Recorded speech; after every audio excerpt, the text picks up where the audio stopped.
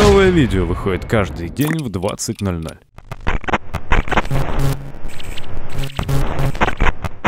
Вы знаете, я в последнее время задаюсь очень многими вопросами. Не буду вдаваться в подробности большинства из них, но один из вот этих самых вопросов это то, почему а, читеров разбанивают. В самом деле, вот мне этого абсолютно вот никогда не понять. Почему, допустим, такие большие корпорации, как Valve и прочие, если уж заметили читера, то там Вагбан и вот прочее, прочее, прочее. А вот в Сампе а, за самые жесткие виды читов максимум 30 дней.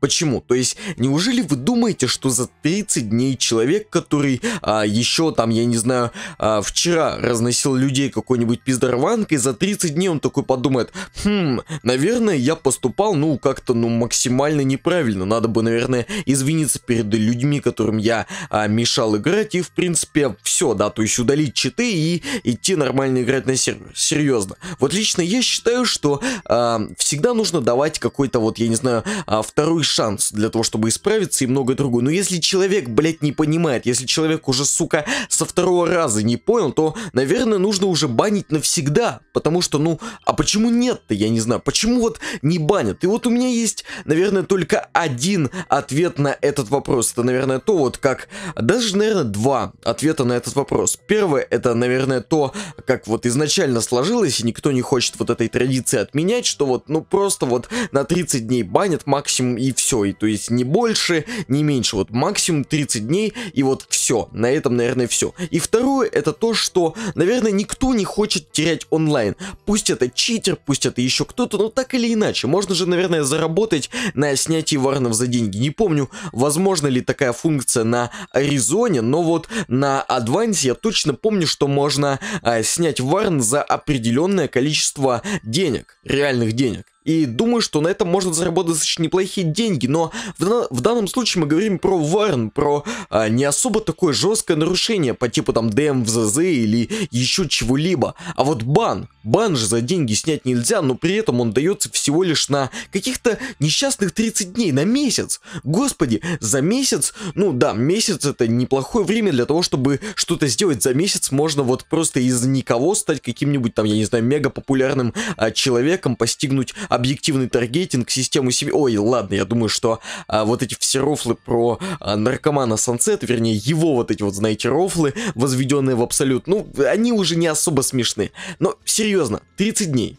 30 дней. Что? Вот серьезно, читер. Человек, который читерил просто 30 дней, серьезно. Да он просто, блядь, э, на время этих 30 дней создаст твинг, прокачает уже его, либо даже не будет прокачивать и просто так же будет разносить серьезно. Я считаю, тут нужны просто вот радикальный мир. Бан по IP навсегда. Если уж человек со второго раза не исправился, то да. То есть я могу понять, первый раз человек установил 4, решил попробовать, что это, как это, просто вот забанился и все. Я понимаю, да, возможно, это можно понять. Ну да, там бан на, э, там, я не знаю, 30 дней. Ну почему бы на первый раз? Но второй раз, серьезно, почему читеров прощают читеры. Это же пиздец, они мешают нормальной игре. Я, я просто не понимаю, возможно, потому что я натурал, возможно, еще что-то, но я не понимаю. Вот вы играете в какой-то соревновательной игре, где просто решает скилл, то, насколько хорошо ты умеешь играть. И какой смысл устанавливать читы, я просто не понимаю. Возможно, потому что ты такой, типа, блядь, другой человек, ну, по-любому установил читы, ну, не может он попадать, блядь,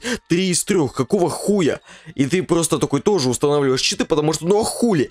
Ему можно, его не банят, а я что? Я что, я чем-то хуже или как? Я просто не понимаю. И по поэтому вы тоже устанавливаете читы уже через несколько минут, начинаете разносить весь сервер при помощи вашей приватной там рампаги, при помощи там еще кого-то, вот. И просто вот начинаете все это делать. Зачем? Для чего? Я просто не понимаю. Вы играете в соревновательную игру. Вам нужно максимально прокачать свой скилл, так или иначе.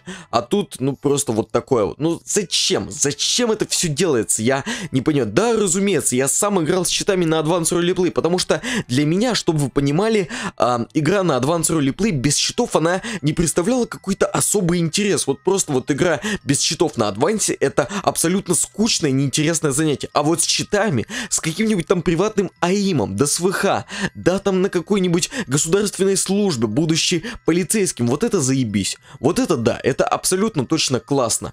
А вот это вот, ну бля, ну в самом деле, ну что вы такое говорите? Ну это же абсолютное говно. Это же абсолютное говно для конченых дебилов, для конченых даунов. Я не знаю, я в самом деле, сука, не понимаю, я в самом деле не могу понять, какого хуя это так происходит. Почему? Почему читеров, вот я несколько раз за этот ролик задавался этим вопросом, но почему читеров банят на такой маленький срок? Почему читеров, в принципе, прощают из раза в раз, из раза в раз? И это можно отнести не только про читеров, почему прощают каких-то махинаторов с имуществом, почему прощают каких-то людей, которые там, я не знаю, передали, продали аккаунты много. Хотя вот на эту тему нужно сделать, наверное, отдельный ролик. Почему перепродавать, отдавать и передавать аккаунт это что-то плохое. Почему это что-то, я не знаю, непонятно. Почему вот так? Потому что я до сих пор не понимаю, почему ты не можешь отдать свой аккаунт другу? Неужели это запрещено? Почему? Вот почему?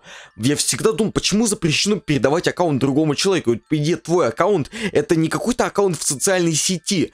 Это не что-то вот, которое определяет твою личность. Нет, это игровой аккаунт на сервере. В чем проблема-то тогда? Я не понимаю. Отдать просто-напросто этот аккаунт и все. Но, но почему на многих серверах, да практически на всех, если не на всех серверах запрещено передавать аккаунт? Я просто это не... Для меня это было каким-то удивлением, каким-то шоком, что вот просто нельзя отдать аккаунт, нельзя подарить аккаунт какому-то своему, я не знаю, другу, какому-то своему, я не знаю, близкому человеку. Почему? Мне этого не понятно. Но больше всего мне непонятно, почему прощают читеров. Это, конечно, да. Это такая себе э, задумка, это такая себе система, что читеров, да и других людей, каких-то махинаторов с имуществом банят всего на 30 дней. Это ж, это ж минимальный срок, на который только можно забанить. Это ж какое-то, ну это говно.